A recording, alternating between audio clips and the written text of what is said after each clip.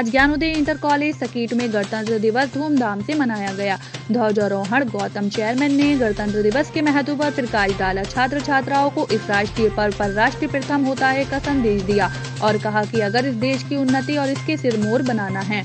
तो हमें जाति, धर्म, क्षेत्र में नहीं विश्वास रखना चाहिए।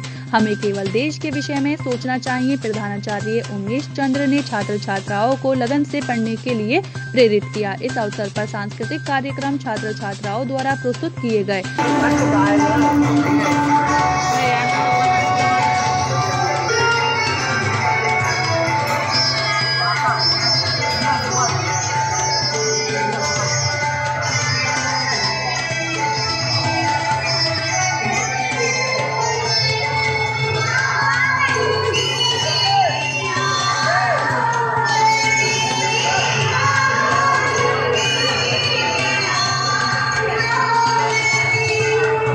इस अवसर पर छात्रों को पुरस्कृत भी किया गया। अंत में सभी का आभार व्यक्त किया। इस चेयरमैन श्री गौतम सिंह, प्रधानाचार्य उमेश चंद्र, रत्नेश यादव, रवि आलोक कुमार, दिनेश कुमार, करिश्मा कुमारी कुमारी शालू शिवानी आदि उपस्थित रहे।